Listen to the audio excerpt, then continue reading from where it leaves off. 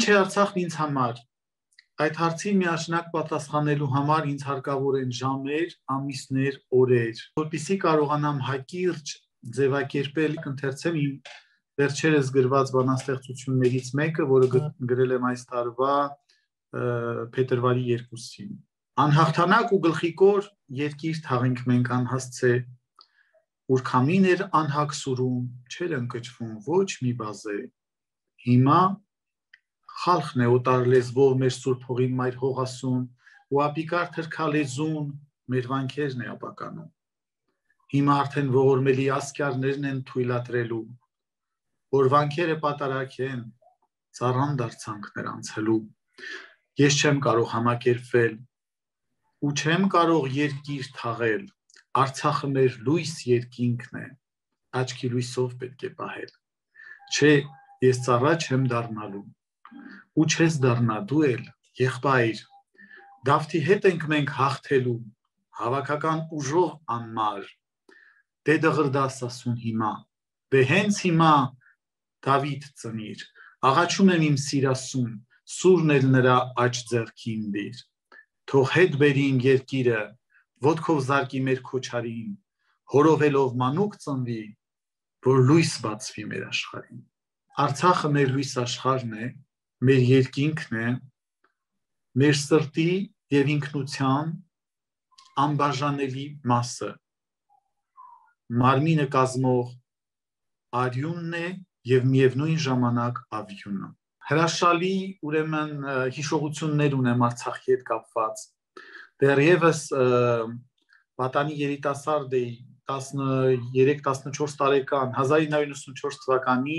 մայիս ամսին ամսին երբ որ տեղի ունեցավ Շուշի ազատագրումը ոչ ավելի ուշ քան հունիս ամսին մենք Վազգեն Սարգսյանի հրավերով հանդես համերգներով հանդես ունեցանք Ֆիզուլիում Մարտակերտում, Մարտունիում այնպիսի պատմություններ ունեմ կապված Արցախի հետ, որ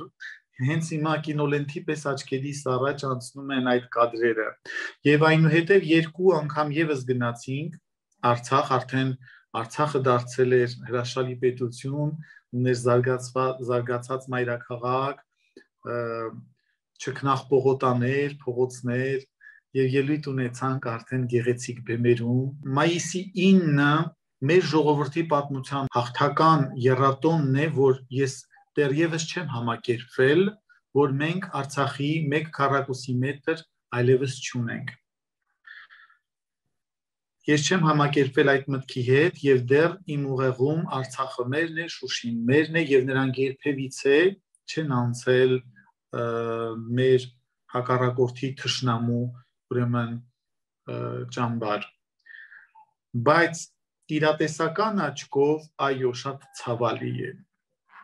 ցավալի է եւ այդ դառնությունը հետևում է ինձ ամեն օր, ամեն վարքյան, ամեն ժամ այդ անարդար իրավիճակը, երբ մի փոքրիկ հայրենիքի վրա հարցակվել էին բարույթ բուն իմաստով մի քանի գերտերություններ իրենց լռությամբ, վաճառած զենքով եւ մի քանի ստորակարշ հասարակություններ, որոնք հիվանդացրել են աշխարը իրենց չարությամբ դժվարություններով եւ մարդասպան մոլուցքով։ Եթե հայ ժողովուրդը կռվեր միանշանակ ազերի, ուրեմն ազերիների դեմ մեր հաղթանակը միանշանակ կլիներ։ Մենք հաղթանակած ենք դուրս եկել այս պատերազմից, հաղթանակած, որովհետև մենք կարողացանք ապացուցել, որ կարող ենք դիմակայել մի քանի պետությունների ջիհադիստական պետությունների վարձկանների դեմ անգամ ամենազարգացած պետությունների ամենազարգացած դրոնների դեմ անգամ մենք ինձ համար մեր ազգը հաղթանակած է մենք երբևիցե չենք պարտվել կպարտվեինք եթե հավասարազոր ուժերի դեմ նրանք իսկապես հաղթանակեին հայ ժողովուրդը նման էր մի երեխայի որը Բաքում խաղում է անմեղ եւ իր վրա հարցակվում են մի քանի հոգի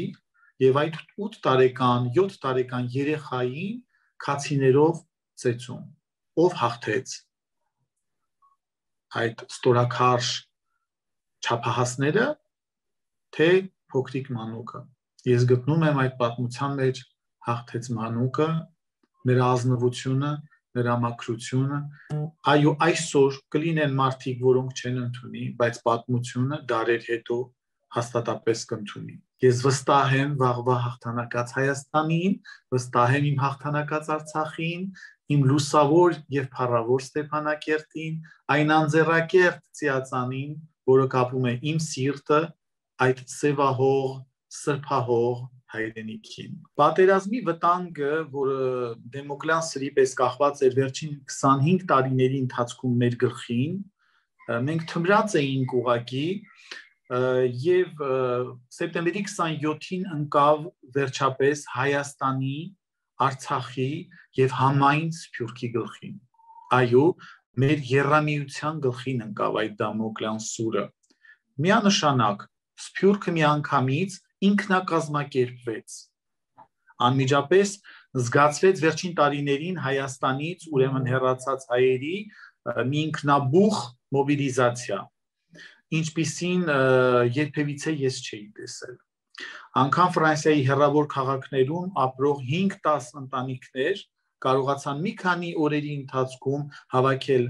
մեկ բեռնատար, երկու, երեք բեռնատար ուրեմն օգնություն եւ վարելով գիշերները 1000, 1200, երբեմն 1300 կիլոմետրեր հեռավորությունից հիշեք համավարակի ուրեմն սահմանափակ ուրեմն իրավիճակում եւ գիշերներով անգամ հասնել Մարսել, որpիսի հնարավորինս չափ շուտ այդ ամբողջը հասնի Հայաստան, հասնի առաջնագից, բոլորը սահմանում չէին, բայց սակայն բոլորը զինվոր էին։ Այո, Ֆրանսահայ համայնքն աշխատեց տարբեր ուղություններով։ Ուրեմն հայկական կազմակերպությունների համակարգող խորհուրդ խորհուրդն ուղղորդեց իր ողջ քաղաքական լծակները, որբիսի տարածաշրջանի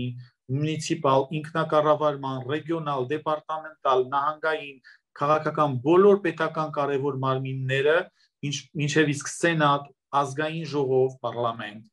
ճանաչեն Արցախի անկախությունը կամ անհապաղ կազմակերպեն հումանիտար օգնություն դեպի Հայաստանի Հանրապետություն եւ Արցախ։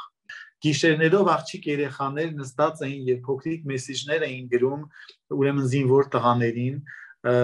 հուսախառն եւ բայց փորձում էին ուրախ բաներ գրել որպեսի զինվորը երբ ոստանա անպայման ուրախանա եւ անգամ մեկ վիդեո տեսանք զինվորներից որ ասացին մենք փնտրում ենք այս աղջկան որտեղ է ես հնարավորություն չունեցա ասել, որ դա Մարսելում է։ Պետք է փորձենք որպես Սփյուռքի կողմից դիտարկելով Սփյուռքում ստեղծել այնպիսի հնարավորություն, որպեսզի համաշխարհային հանրությունը ու իր ուշադրությունը սերվի այս ժողովուրդների պետականության պահպանմանը։ Բացի պետականության պահպանումից պետք է անպայման ստեղծենք լծակներ, որպեսզի կարողանանք ինվեստիցիաներ կատարել Հայաստանում, Արցախում բարձրացնելու երկրի էկոնոմիկական վիճակը։ Շատ կուզենայի, որպիսի Հայաստանի Հանրապետությունը, Արցախի Հանրապետությունը հաշվի նստեր այսուհետ Սփյուռքի հետ։ Հաշվի նստել ոչ թե որոշումները կայացնելուց հետո, այլ ընթացքում։ Եվ շատ լավ կլիներ հարկավոր կլինի իմ կարծիքով, որ Սփյուռքը եւս մասնակցի հայրենիքի կառուցման գործին ոչ թե որպես դիտորդ, այլ որպես որոշող եւ մասնակից եւ ինչու՞ չէ ստեղծել հայրենական կոնգրես ստեղծելով կոնգրեսմեններ, ովքեր կլինեն Սփյուռքից եւ այստեղ անձինք, ովքեր կլծվեն ուրեմն հայրենիքի շենացման գործում ի պաշտոնե, ի քաղաքական ուրեմն գործունեություն։ Մենք ոչ մի պետության վրա, ինչպես հասկացանք, չենք կարող հույս դնել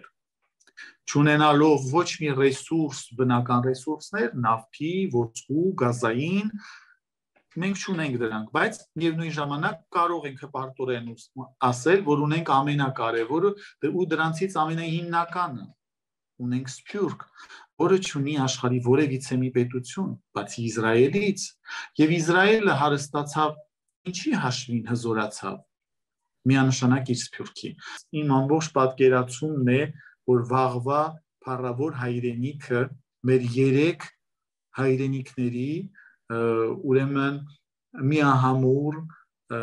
նվիրված աշխատանքի արդյունքում է լինելու։ Եթե ծնվեի 1000 անգամ հազար անգամ էլ Արցախը ես եմ